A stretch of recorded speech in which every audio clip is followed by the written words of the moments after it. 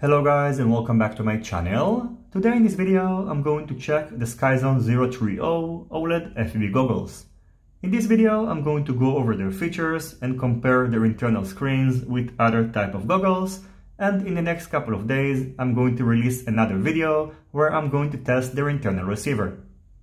The Sky 03O is the upgraded version of the Sky 03 which was released last year O stands for OLED since it's using OLED displays with a resolution of 1024 by 768 and in addition Skyzone also released the Sky 03S which is using cheaper LCD screens with a resolution of 800 by 600 and cost $40 less.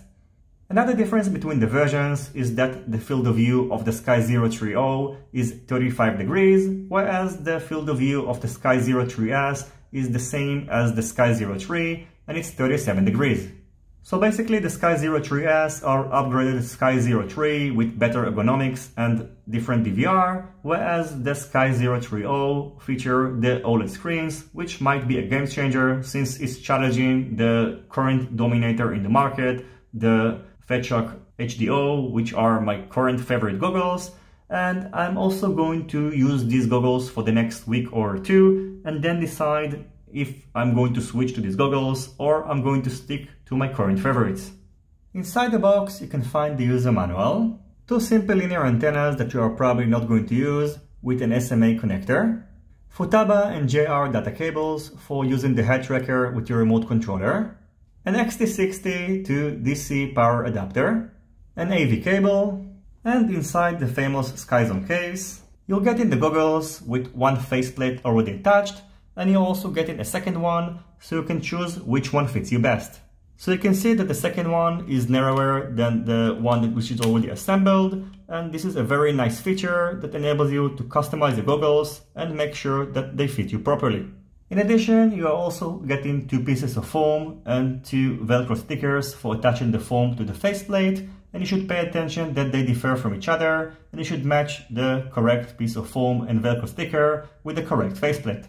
I recommend of course to try both options to see which one fits you best and I think that it could have been nicer if Skyzone would already pre-attach the velcro sticker because it's a little bit annoying to attach it and you should also note that you should be extra careful while assembling and disassembling the faceplates as the plastic parts can be fragile and unfortunately as you can see I already broke this part over here. The diopters that comes with the goggles are just clear ones and their purpose is to protect the lens and if you wish, you can simply remove these diopters after removing the faceplate and use any Fatshark compatible diopters. So as you can see, my Optic Fisher diopters fits perfectly inside the diopter slots, and if you wish to learn more about the Optic Fisher diopters, you can check out my review over here. In terms of features and internal menus, the Sky 03O are very similar to the Sky 02X, which I've recently reviewed. Just like the Sky 02X, it's available in different colors and designs, and the reason I chose to go with the black metallic version, which might be the less exciting option out of the ones that are available, is because that I experienced with this version of the Sky 02X some light leakage, and I can confirm that it doesn't happen with the black version. Now even though these goggles might look similar, they are completely different, first of all in terms of specifications and also in terms of pricing. Here you can see the Sky 03O next to their main competitor, the Fatshark HDO. In terms of similarities, both goggles are using OLED displays and their aspect ratio is fixed to 4x3. The list of differences is a little bit longer. So first of all, the Sky 03O feature an internal diversity receiver that supports 48 channels, so on both sides of the goggles you can find SMA antenna connectors. The Fatshark HDO, however, does not come with a receiver and it features a module bay that enables you to use your own one. The upside is that it enables you to use multiple types of receivers, including 2.4 GHz ones and also advanced receivers such as the ImmersionRC Rapid Fire and the Furious FPV True DX. The main downside is that you will need to purchase the receiver separately, whereas it's already included in the price of the Sky 03O. In addition, the resolution of the Sky 03O is 1024 by 768 and their field of view is 35 degrees. The field of view of the Fatshark HDO is a little bit bigger and it's 37 degrees. However, the resolution is a little bit lower than the Sky Zero 3.0 and it is 960 by 720. Another small difference is that the IPD of the Fatshark HDO can be adjusted between 59 to 69 millimeters and the Sky Zero 3.0 offers a wider range so you can adjust it between 57.5 up to 69.5 millimeters. Moving on on the list of differences, the Sky Zero 3.0 features a built-in head tracker, whereas you will need to purchase one separately on the Fatshark HDO and then place it inside this module bay over here. The Sky Zero 3.0 also feature a front VGA camera that enables you to watch your surrounding without having to remove your goggles. Feature an on and off switch, support 3D FPV, can be powered off directly using batteries between 2 to 6 cells, feature a pretty cool front LED light, which you can adjust using the settings of the goggles, and finally features a pretty powerful fan with adjustable speed, and unlike the Fatshark HDO, you don't have to connect it to the balance connector of the battery in order to turn it on. Now using this pretty scary display mannequin head, I'm going to show the field of view differences between the HDO, Sky 03O and the Sky 02X. The reason I'm using this device that I built is because it's going to make sure that the distance between the screens of the goggles and the eyes of the mannequin head, which are Caddx Turtle V1 cameras, is going to be the same when comparing the three goggles.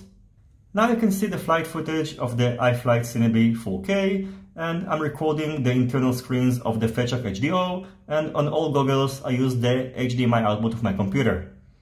Now I'm going to overlay the screen of the Sky 03O and as you're about to see, even though on the paper the field of view of the Sky 03O is smaller than the Fatshark HDO, you can see that it actually looks pretty similar. Now I'm going to overlay the screens of the Sky 02X and as you can see the field of view is of course significantly smaller and if you're going to set the Sky 02X to 4 by 3, it's going to crop the size of the video and then of course the field of view is going to be much smaller.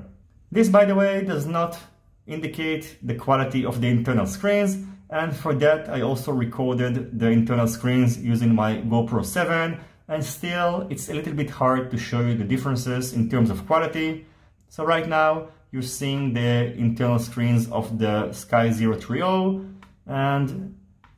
now I'm going to show you the internal screens of the Fatshark HDO. So it's a little bit hard to show the difference because I think that this quality does injustice for both HDO and Sky 03O but what I do can tell you is that the quality of the Sky 03O is amazing both screens are great, but I must admit that the screens of the Sky 03O look better than the Fatshark HDO.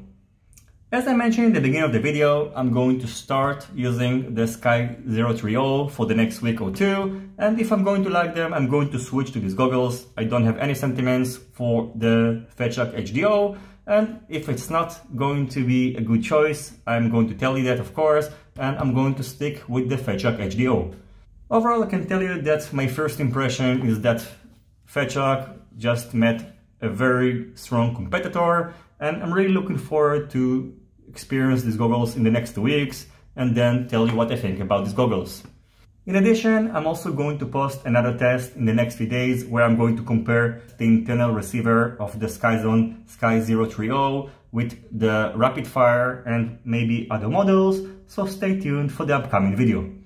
I'm going to leave you with some more footage of the internal screens of the HDO and the Skyzone Sky 03O, but remember, as I mentioned before, it's not a very good way of experiencing these goggles and you have to try them for yourself in order to get the best experience.